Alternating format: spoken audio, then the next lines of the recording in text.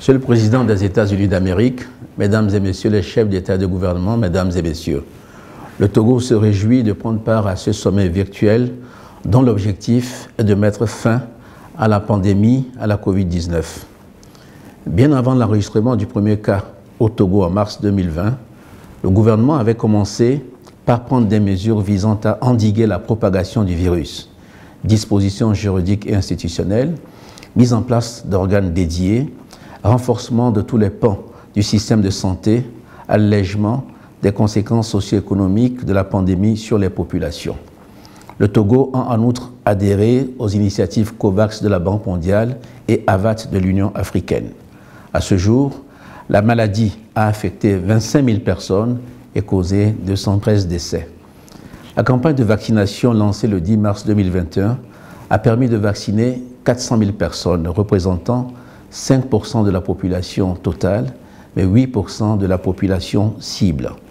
Grâce à la stratégie vaccinale mise en place et à l'adhésion grandissante de la population, le Togo atteindra à terme, j'en suis sûr, une immunité collective à la seule condition de disposer de vaccins.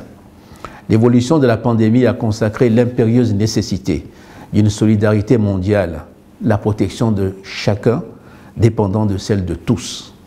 Je salue et félicite donc le président Biden pour avoir pris l'initiative d'organiser le présent sommet dont les objectifs ont tenu compte des leçons tirées des précédentes initiatives.